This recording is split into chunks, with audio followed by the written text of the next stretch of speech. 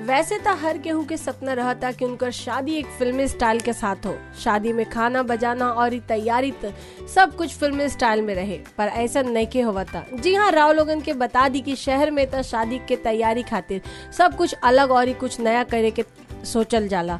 पर लेकिन गाँव में तो कोनो शादी के तैयारी में तो हर बार कुछ नया ही देखे के मिलला।